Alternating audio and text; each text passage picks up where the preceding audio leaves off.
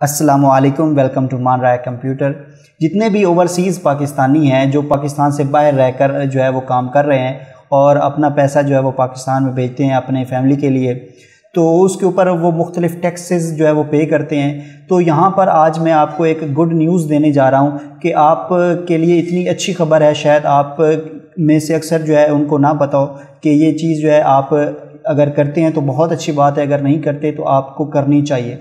तो हर जो ओवरसीज़ पाकिस्तानी है, उसको इसके ऊपर अमल करना चाहिए। और हर ओवरसीज़ पाकिस्तानी को जो है, ये टैक्स रिटर्न जो है, वो देखनी चाहिए और इसके बेनिफिट्स का उसको लाजमी पता होना चाहिए।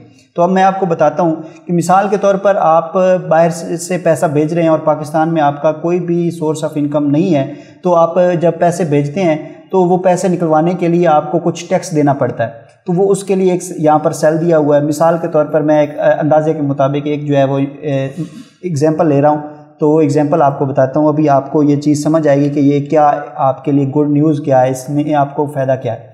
तो यहाँ पर मिसाल के तौर पर आपका एक बैंक है बैंक के अंदर आपने पूरे साल में पंद्रह लाख रुपए जो है वो सेंड किए हैं और उसके ऊपर आपने जो टैक्स दिया है वो तकरीबन जो आपका मतलब विद होल्डिंग टैक्स आपको पड़ा है विद विड्रॉल का जो टैक्स आपको यहाँ पर पड़ा है तो वो मिसाल के तौर पर हम फ़र्ज़ करते हैं कि ये आपको पड़ा है दस हज़ार रुपये यहाँ पर कैलकुलेट करते हैं और उसके बाद मिसाल के तौर पर आपने जो है वो कोई ट्रांजैक्शंस की हैं बैंकिंग की, आपने किसी दूसरे को जो है वो पैसे सेंड किए हैं तो उसके लिए आप यहाँ पर दर्ज करते हैं। मिसाल के तौर पर आपने यहाँ पर अकाउंट लिखते हैं और उसके बाद यहाँ पर आपका कौन सा अकाउंट है वो लिख लेते हैं।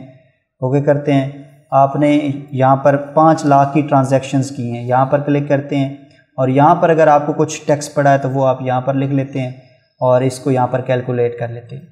इसी तरह अगर आपने गाड़ी ली है, उसकी रजिस्ट्रेशन के ऊपर आपने कोई फ़ी दी है तो वो आप यहाँ पर दर्ज करते हैं। और इसी तरह आपने अगर कोई ट्रांसफ़र फ़ी आपने मोटर व्हीकल को ट्रांसफ़र किया है, उसके ऊपर आपने कोई टैक्स दिया है तो वो आप यहाँ पर दर्ज करते हैं। इसी तरह आपने टेलीफोन जो बिल है, उसके ऊपर कोई टैक्स दिया है तो वो आप यहाँ पर दर्ज करते हैं। इसी तरह आपका इंटरनेट का कोई बिल है तो वो आप यहाँ पर दर्ज करते हैं। इसी तरह ये एक मुकम्मल जो सेक्शन है, इसको आप देख सकते हैं, ये मुकम्मल एक सेक्शन दिया हुआ है।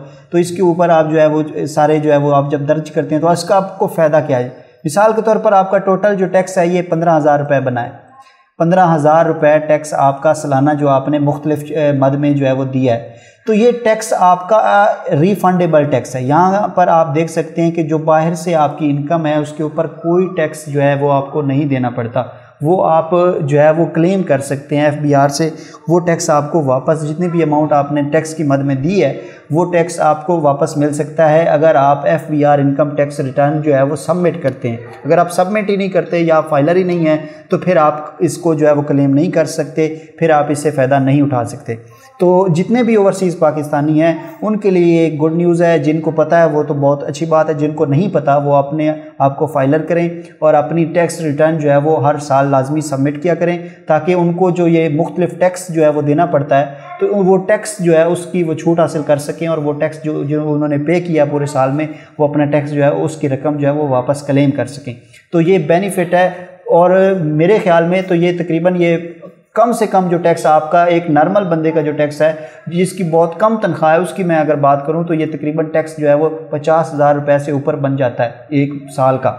इस लिहाज से अगर हम ये सारी चीज़ें दर्ज करके देखें तो ये टैक्स जो है वो चालीस पचास हज़ार तक बन जाता है। तो ये चालीस पचास हज़ार रुपये जो आपको टैक्स की मद में देना पड़ रहा है, ये अपना आप वापस ले सकते हैं। इसका आपको पता होना चाहिए। अगर आप अपने आप को फाइलर बनाना चाहते हैं और अपनी टैक्स रिटर्न जमा करवाना चाहते हैं तो उसकी वीडियो यहाँ पर मौजूद है। आप वो वीडियो देख सकते हैं लिंक डिस्क्रिप्शन में है, आप देख सकते हैं और आप इसको जो है वो अपनी, आपको फाइलर बनाएँ और अपनी टैक्स रिटर्न जमा करवाएँ और जो टैक्स आपका रिफंडेबल टैक्स है, उसको आप जो है वो क्लेम करें एफबीआर से, वो आपको टैक्स जो है वो रिफंडेबल कर देगा।